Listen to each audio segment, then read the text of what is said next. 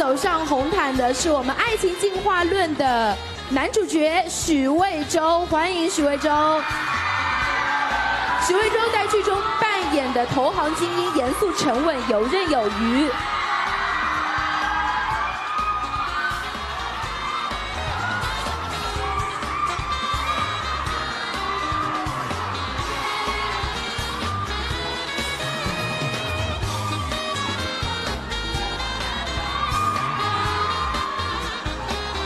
这次许魏洲在红毯上的人气非常高，让我们欢迎许魏洲来到我们的采访区。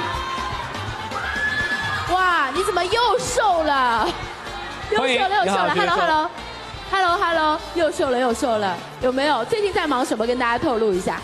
呃，大家好，最近在我拿吧啊，最近在拍戏，然后在深圳拍摄新剧《乒乓》。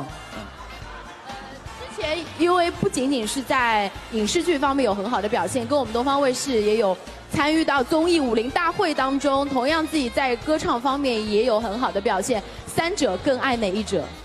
呃，你不是也去了吗？呃，都爱都爱。其实演戏、唱歌、跳舞对我来说都是我自己兴趣爱好，也是我的工作。然后呢，我也希望。之后能够把更好、更多的作品带给大家，也希望呢能够在东方卫视啊，我的家乡台能够有更多精彩的表现。那既然是家乡台，今天用上海话跟大家唠两句好不好？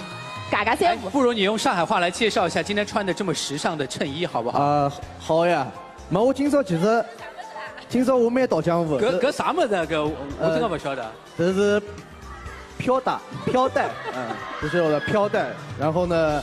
呃，今天其实上海还挺冷的，呃，我觉得今天回来挺开心的，因为一直在深圳嘛，然后挺暖和的。今天能够回上海，然后感受到这么熟悉的这个冷，对，湿冷湿冷，呃，其实挺挺好的，挺好。也期待一九年能不能参与到《流浪太阳》剧组啊！好好，欢迎许魏洲，再次感谢，谢谢。欢迎欢迎，也希望许魏洲常回家看看啊，上海会给他带来很多的温暖。是的，朋友们。